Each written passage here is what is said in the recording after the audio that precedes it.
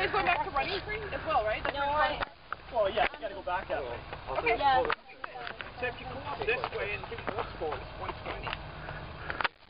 I want to stay off Moss Court. Well, haven't you done the one